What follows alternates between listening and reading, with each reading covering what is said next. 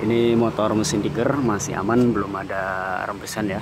Kalau yang sebelumnya saya upload yang model sudah rembes. Karbu masih ori ya.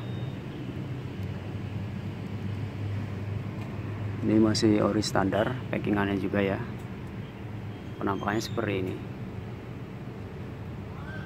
Jadi motor jarang keluar